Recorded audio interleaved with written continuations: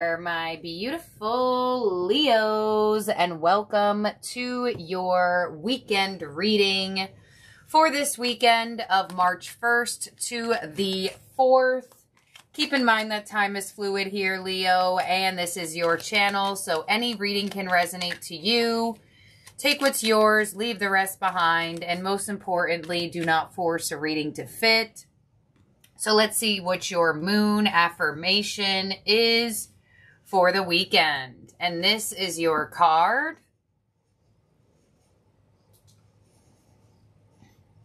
And it says, I let go, I release, I am within perfect possibility with a dark moon coming in. Wow. Leo, you got a lot of letting go energy lately, um, a lot of release energy, a lot of completion energy coming out. So I definitely feel, I don't know why I'm shining right here. I don't understand. Oh, it's the sun. Um, sorry if that's like distracting. The sun will move eventually. Um, so you're definitely letting go. And with this indication, um, within perfect possibility, Spirit is saying that you are moving out of a dark night of the soul process. Um, some of you have been doing inner child healing or really trying to, you know, reflect deep down inside to recondition yourself and release what no longer serves you.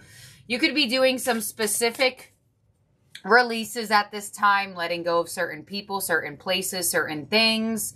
Um, good time to declutter your energy. Um, if you are holding on to items that no longer serve you and or are just collecting dust, now would be a good time to um, either give those things away, put them up for sale. I don't know, like have a garage sale or something. So let's see what your fortune is. We have the star. Hard times are over. Look forward to an abundance of happiness, enthusiasm, and possibilities. I'm sorry, positivity. All right, so you have the star coming through with the dark moon, and this card is indicating hard times are over. This card is indicating that you've been in the dark night of the soul. So it looks like a very I mean, this is so interestingly connected. The fact that you're getting all of this release energy, Spirit is really trying to give you a strong message here, Leo, that there is a very difficult situation in your life, a very difficult feeling or thought process that is finally on its way out of your energy. Let's see what else you got. We have the eagle. Card number nine. You will soar towards your destiny with greater clarity and strength. There it is coming out of the darkness and soaring to new heights with the eagle. So with symbolism here of the eagle and the star, spirit is really indicating that things are about to start getting a whole lot better here for you. Um, but you have to release. The more you hold on to things you don't like, the more you're going to get what you don't like. Um, the more you hold on to things that no longer serve you, the more you're going to attract in things that no longer serve you or that do not serve you, as I should say. So, you know, tarot isn't magic, but you could definitely work with the energy that's being presented to you. And it looks like you have a huge moment to really soar over obstacles, hard times, difficulties, whatever the case may be. You're really getting a moment to release all of this from your energy, whether you decide to take it or not is all up to you. So let's see what your quantum oracle is giving you. Cycle card number five with transformation. There it is. Right underneath that dark moon. We also have intention card number six with playing it safe. And we also have a consciousness of lack, card number five. Yeah. There's something that you don't have. There's something that you want. There's something that you are longing for here. And Spirit is saying, hey, it's always so comfortable to focus on what we don't have. Um, but it's looking like your energy is going to feel a lot more courageous to opening up to these new possibilities and these new ways of thinking. You have 5-5 here as well, indicating a change, a release. Let's see on transformation. We have consciousness card number 4 with great gratitude. Yeah. So whatever you're letting go of, whatever you're releasing, or whatever you're being guided and called to release, Spirit is like, Leo, you don't even know how grateful you're going to be from this moment. Allow it to happen. On playing it safe, we have joyous fun with card number seven, energy. And we also have friends and colleagues with people. Yeah, I feel the need to let you know to stop comparing yourself to other people because I feel, you know, comparison is the thief of joy. Um, is that the quote? Well, I'm going to make it the quote for right now. Because I feel like for a lot of you, you could be comparing your path to other people's paths, feeling like you're not as far as you'd like to be, or you're not as abundant or successful as other people. And Spirit is indicating that that doesn't mean that it'll never happen for you. But taking the right steps and opening up to this energy and changing your perspective is really what's needed.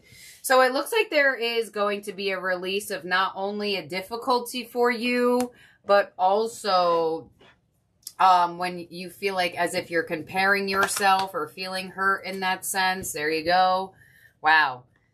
Three of Swords to the Eight of Cups. So you're moving on from something. This is a big transformation. When you move on from the Three of Swords, sadness, isolation. I feel like for some of you, you know what I feel too? This is like super random, but I feel like for some of you, you almost like weren't allowing yourself to have as much fun. I don't know exactly why. Let's see. You also have release with death. There it is. So this is a big ass transformation. I'll tell you that. This is a big ass change. You got transformation, you got release, you got release up there, you got moving on over here. Some of you have been praying to get over something or get over someone. If that's the case, congratulations. You have done it. You are feeling like you are ready to move on. You know, I feel like some of you, there has just been something that you've just been holding on to and not even realizing that you were holding on to it, you know. Let's clarify this. Wow, you have a big change. You got a big release here. We have the Six of Pentacles, we have the Empress, and we have the Wheel of Fortune. I'm telling you, y'all, Tarot 8 magic, but when you follow the guidance, you spin the wheel. So the fact that release is here as death and the Wheel of Fortune is on top of it, is showing for me that this is how you're spinning the wheel this weekend by releasing, by letting go. Because the more you, energetically, the more you put out what you don't have, the more you are reminding the universe that you don't have it. And when you do that, you put pressure onto the energy instead of just allowing it to unfold. we have the King of Swords, we have the Ten of Cups, and we have the Queen of Pentacles. Yeah. I definitely feel like for a lot of you Leos, you're really getting over something that was bothering you. Something or someone was bothering you. Ten of Swords, Knight of Swords, the Sun, the Hermit, the Queen of Wands, and the Ace of Swords. Beautiful. Yeah, you're definitely getting over something. The sun to the ace of swords. You are finding the clarity. You are finding the perfect possibilities for you there now. And it definitely looks like the wheel of fortune is here to bless you with a turn of events. And you want this turn of events. Um, deep down inside, your soul wants this release. And with the cards that you also have gotten, I mean, I feel like for a lot of you, it's a mental release as well as not feeling so aggravated about something. I feel like aggravation. I feel like difficulty. So I definitely feel I want to get some tea leaf out here because it looks like they keep indicating for you the Ace of Swords for something. So this is showing me that for a lot of you, it could be some sort of mental difficulty, a feeling, or you may have been waiting for some sort of clarity or waiting for some sort of information. Let's see. We have the goldfish with increase in material wealth or spiritual growth. We are in the season of the fish.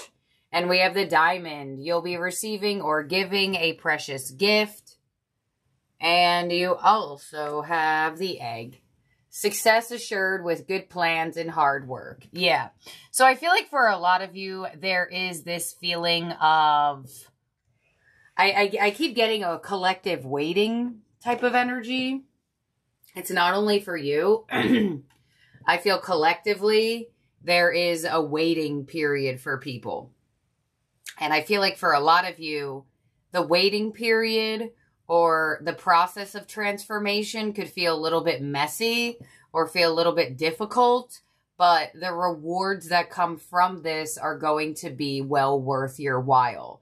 So, you know, sometimes you have to fly low to gain momentum and increase your, you know, your position and the heights that you reach in life. And it looks like you are finally about to break through a barrier that has been either A, holding you back because of your own self doing, or B, holding you back in a certain type of direction because I feel like of impatience. So there is definitely something happening here for you, and it seems very broad. It seems very general. It really is in the process of releasing something, moving on from something, and literally getting over something. So you're either getting over something or someone.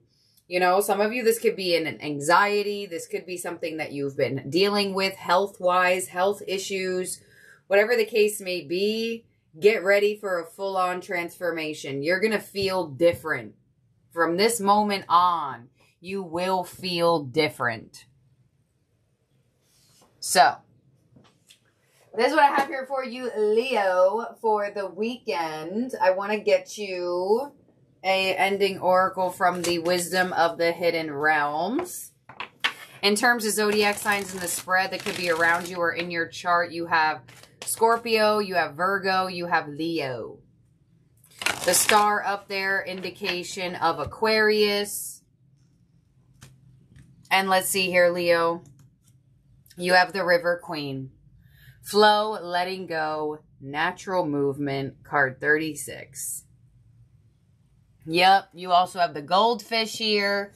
So definitely indication of some water energy. I mean, you do have moving on here. So strong indication that you're getting over something emotionally.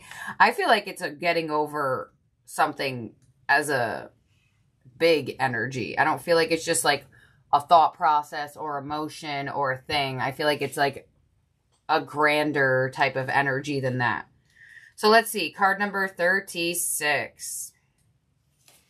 The River Queen flows into your life as an ally to remind you about the concept of allowing the, na- the law of non-attachment. Remember that all rivers come from the mountains and run to the sea to be absorbed by the larger body of water. There, the liquid evaporates into the clouds that rain on the mountains to continue an endless cycle of fluidity. The River Queen requires you to be fluid and let go of rigidity and perfectionism. You will travel far as long as you let go and let flow. Geez. Even maneuvering around the greatest blockages like water streams around big boulders. No obstacle can hold you back now if you're willing to surrender to the natural flow of events. Be easy on yourself and others and watch how smoothly you move forward. You may be surprised where this river takes you. Yup, and that goes right there back to your first card. I let go, I release, I am within perfect possibility. So flow like water and your river will lead you to where you are meant to be. So thank you, my beautiful, wonderful Leos. I love y'all so, so very much. I hope you have a wonderful weekend ahead. Happy March your Leo Plus for March, where you will get love readings for each individualized zodiac sign, will start this weekend. So if that's something you're interested in, do not forget to subscribe and ring the bell so you get alerted of when they start going out. And thank you, my beautiful Leos, once again. I'll talk to all of y'all very soon. Bye now.